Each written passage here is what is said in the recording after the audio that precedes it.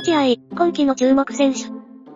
現役時代に三冠王を3度獲得し、監督としては中日を4度のリーグ優勝に導いた落合博満氏が6日、自身の YouTube、落合博満の俺流チャンネルを更新。現在、真っ盛りのプロ野球春季キャンプについて語った。2024年のプロ野球はすでにキャンプインから1週間が経過。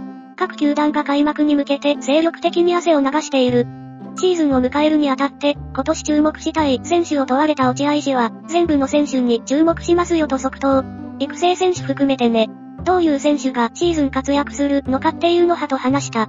そして、え、こういう選手が出てきたのかっていうのが一人でも二人でも出てくれば野球界の活性化に繋がってくるんで、誰っていうことじゃなくて、全員に期待していますと全ての選手に向けてエールを送っていた。まるで中身がない内容。全員に期待だなんて、らしくないね毎度のことだけど、当たり障りのないことしか言わないから、何が俺流なんかと思う。答えはボケたのかい切ってるのか。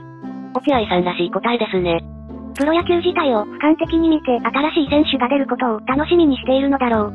どのチームが、でもどの選手がでもなく、良い選手が出ると良いというプロ野球全体を見ていると思う。勝手な思い込みだけど。うん、そういう選手ってなんか、いないのでは。目に見えなくても監督としての味方ではあるのかもしれないですね。それでもあまり現れないってことでしょうか。